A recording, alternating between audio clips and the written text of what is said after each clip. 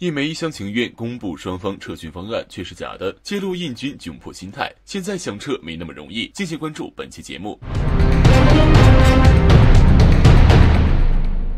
目前中印边境地区温度越来越低，但双方一线部队还在摩擦点对峙，这对后勤来说是一个极大的考验。这种背景下，印媒开始疯狂炒作所谓的撤军计划，究竟是何目的？又暴露了什么？在第八次高层会谈后，印度多家媒体指出，双方已经开始从摩擦点撤退，而印度经济时报甚至还称，双方商定了分阶段撤退的具体方案。第一步是，双方将在签署协议后的三天内，将装甲车、坦克等设备从加隆河谷的摩擦点转移到各自的后方基地。第第第二步，解放军从第四指推到第八指，而印军撤回到第二、三指之间。第三步，商定完成，在班公湖南岸沿雷桑格拉、穆赫帕里和马加尔山等地区撤退。报道还强调，中国更愿意缓和紧张局势。很明显，印度媒体公布的撤退方案对他们更有利，看似他们占了更大的便宜。一直以来，印度对实控线都抱着不切实际的想法，单方面认为第四至八指区域是印边防部队巡逻区域。印度这样混淆视听，根本就没有谈判所应有的诚意。对此，《环球时报》援引中方消息人士消息指出，印度媒体提及的撤退方案并不准确，而印度是想通过这种混淆、夹带私货的报道来体现印军的强势，抚平民众情绪，以及避免反对派的指责。印媒这种带节奏报道早已炉火纯青，与此同时，也侧面揭露了印军的窘迫和急迫心态。最近报道得知，印军连最基本的防寒服问题都没有完全解决。虽然两军都需要面对残酷的高原环境，但是后勤却有着天壤之别。目前，解放军已经低调配发了全套作战、巡逻、防寒备装。此前，一枚卫星图也发现，中方在班公湖建造了新营房，我们还投入了新的拆装置保温方舱，后勤甚至还细节到保温菜窖、保温壶、热水淋浴、气氧等。此外，在十月份曾有卫星图显示，中方已在东朗地区修建了一条长五百米的隧道，隧道的目的就是确保进入该地区的道路在冬季也能通行。值得注意的是，以前还以为印军起码有棉质帐篷，但最近印度社交媒体一张图片引发热议，图片显示印士兵躺在雪坑里，比想象的还要糟糕。至于印军后勤究竟准备如何，只有他们心里清楚，所以才会如此想要撤退。但想撤没那么容易，直接撤对内不好交代，所以印媒要粉饰出印军占了大便宜的假象，实力跟不上野心，就是这么尴尬。纳卡冲突后，克什米尔突然爆发大规模冲突，巴基斯坦底气来了，印度将被土耳其收拾。敬请关注本期节目。十月九日，俄罗斯、阿塞拜疆和亚美尼亚三国领导人签署了全面停火的联合声明。不过，纳卡局势稳定之后，克什米尔突然乱了，巴基斯坦终于找到了机会。谁给的底气？据路透社十三日报道称，当天印度和巴基斯坦正在克什米尔实控线附近爆发大规模炮战，造成至少十名平民和五名军事人员死亡。据一枚消息透露，印方六名平民、三名士兵和一名边防警卫在冲突中死亡，而巴方消息则表示，巴方有四名平民和一名士兵死亡。虽然印巴在该地区。经常交火不断，但这次是数月以来最大规模的炮战，从早晨一直持续到傍晚。现场视频显示，炮火连天，硝烟弥漫，房屋被烧，平民四处逃散，这让人联想到之前纳卡冲突的景象。不过，克什米尔会成为第二个纳卡吗？巧的是，《亚欧时报》前不久曾刊文称，土耳其和巴基斯坦会发动一场接近中国的战争吗？报道指出，在纳卡冲突中，阿塞拜疆能够获得如此大优势，和土耳其的支持紧密相关。土耳其无人机成为冲突中胜利的最大因素。此外，巴基斯坦派。派出国际志愿军，也支持阿塞拜疆。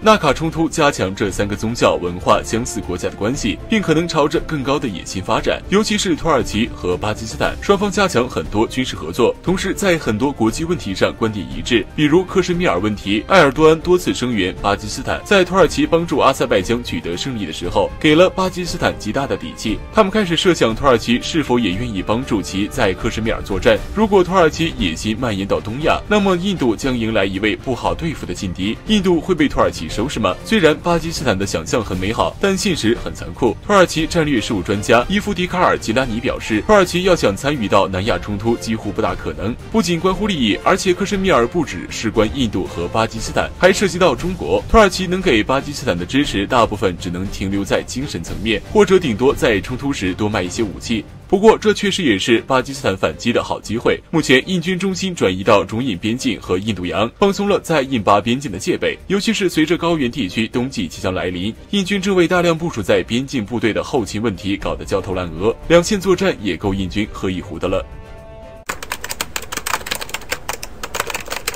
歼二十疑似与运二十 U 进行加油测试，战略空军真正成型，但还缺一个中间路线。敬请关注本期节目。运二十大型运输机弥补了我国战略空军的一大短板，但是第二大短板就是大型加油机稀缺。目前我国空军有几十架轰油六加油机，但是轰油六载油量较小，难以满足歼二十这样的双发重型战机以及轰六轰炸机。而从俄罗斯引进的伊尔七八数量只有几架，数量完全不能满足需求。随着我国空军各先进战机、轰炸机列装部队，大型加油机已经迫在眉睫。最近在社交媒体上，一张照片广为流传，图片显示歼二十战机正在和运二十 U 加油机进行空中加油测试，这对我国空军有多大意义？事实上，在运二十加油机出现之前，轰油六加油机和伊尔七八是加油机机队的主力。轰油六加油机起飞重量为七十吨，最大载油量只有三十七吨，能够输送给其他战机的燃油只剩十八吨，而且其加油软管锥套标准比较独特，只有歼十和歼八 D 战机能够与其对接加油，而伊尔七八载油量比轰油六大很多，使中国战机能够远赴西太上空执行任务。但是目前数量。只有几家，对中国庞大重型战机机队而言还远远不够。运二十加油机就是在这背景下应运而生。从运二十加油机设计可以看出，和伊尔七八一样，具有三个软管锥套式空中加油点。不过运二十加油点并不是外挂吊舱那种方式挂在机尾，而是采用更先进的模块化设计。燃油泵和软管胶盘都被内埋在机舱里，而软管和锥套通过尾舱上的洞伸出窗外。这种方式能够让燃油泵更大功率工作，有效提高空中加油过程的输油量。而且运二十也可以从货舱内部安装辅助油箱，加大燃料输送量。运二十的这个设计似乎也表明，空军准备把软管锥套式空中加油计划作为标准。硬管加油技术可能没戏了。一般有两种空中加油方式，各有优缺点。比如软管锥套式在加油时，容易受到气流抖动，导致加油效率变慢，甚至有脱缸的危险。而且对飞行员技术有着极高的要求。而硬管加油最大的优点就是连接稳定，加油速率得到很大提升。不过新型软管系统的燃油输送速度已经。得到了提升，基本上能满足大飞机加油需求。但从另一方面看，软管比硬管长，射油机和加油机离得远，安全性更高。前段时间，美国就是硬管加油两机相撞战机坠毁。无论软硬管，只要合适就是最好。不过还缺一个融合软硬管优势的中间路线，这个还要后续慢慢在实战训练中摸索。不过运二十加油机的出现的意义本就非同凡响，在其协助下，像歼二十这样的重型战机航程将不受限制，想飞哪飞哪。中国空军将一跃成为为真正意义上的。战略空军。俄罗斯暂停向中国移交 S 四百，和对印度态度截然不同。越媒揭露真正原因，敬请关注本期节目。在目前国际军售市场上，最火、最具争议的就是 S 四百系统。就连美国盟友土耳其和伙伴印度都争相购买，甚至不惜遭受美国的制裁都想得到。这足以表明这款武器的厉害。然而，最近却有外媒关注到，俄罗斯转移 S 四百系统时心态发生了变化，对中国和印度的做法截然不同。在加勒沃河谷冲突后，印度国防部长辛格前往莫斯科谈判，要求俄罗斯方面尽快交付 S 四百防空系统。俄罗斯也承诺将会在今年年底交付第一套 S 四百防空导弹系统。交付时间整整提前了一年，这和以前俄罗斯故意拖沓的风格形成鲜明对比。然而，对于俄罗斯对印度大开绿灯的做法，有外媒指出，俄罗斯却暂停向中国移交 S 四百系统。据印度印刷报十一日报道称，俄罗斯曾承诺向中国提供 S 四百导弹系统，但一直未兑现。从表面上看，似乎是受到了疫情的影响，但这只是借口，背后有更深层的原因。报道指出，随着美国以及盟友加强推动印太战略，尤其是美日印澳四方对话，让中国影响力被。受打击，而且中国与南亚相关国家关系恶化，也让俄罗斯抓住了在该地区发展军火工业的机会。近十年，俄罗斯加大了对东亚、南亚等国的武器供应，而俄罗斯则担心中国可能削弱其在国防工业和中亚地区的影响力。据越媒防务媒体十一月十三日报道称，当中印在边境发生冲突时，两国都急于寻求防空导弹系统的战机。俄罗斯确认向印度提前交付 S 四百的时候，莫斯科却没有向中国做出类似承诺。据悉，疫情流行可能是俄罗斯。斯缓慢交付下一批 S 四百给中国的原因，但莫斯科似乎故意为之，